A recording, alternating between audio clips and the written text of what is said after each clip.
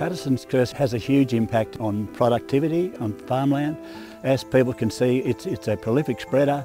It, it dominates the pasture areas, so the new pastures cannot germinate properly and they can't compete with the Patto. It starts as a very small rosette stage and grows up to plants up to a metre and a half high.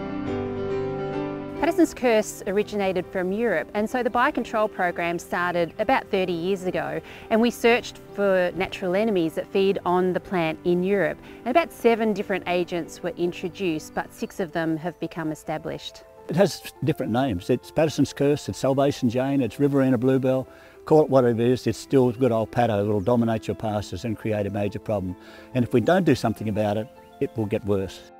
It has a, a, toxic effect on, on some animals, particularly horses. It's a major impediment to production. When the biocontrol agents were brought into the country, they underwent very strict studies to make sure that they were specific to Paterson's curse and weren't going to attack any of our native plant species. Paterson's curse is such a prolific seeder and it loves bare ground, particularly after the impact of drought or in the more recent fires. The first thing that it'll grow will be a weed seed. When uh, the landowners uh, sow new pastures, it's very, very hard for those pastures to be able to compete with the Patto. So the biocontrol agents that have been introduced for Paterson's curse feed on all different parts of the plant, from the roots, the crowns, the stems and even the flowers. So it's taken many years for these biocontrol agents to actually build up and reach damaging levels.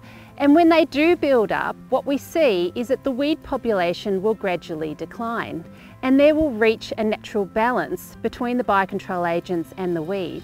But then sometimes that balance can become unbalanced.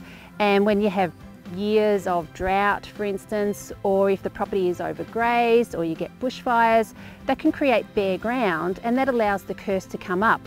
What happens then is that it looks like the biocontrol agents have stopped working but they're actually still there and you just need to give it some time. You need to get down on your hands and knees and look to see whether you can find the biocontrol agents. Biocontrol has no boundaries. Uh, so therefore we as Landcare need to be working with landowners and, and Landcare networks and groups uh, to help spread the, uh, the benefits of the biocontrols.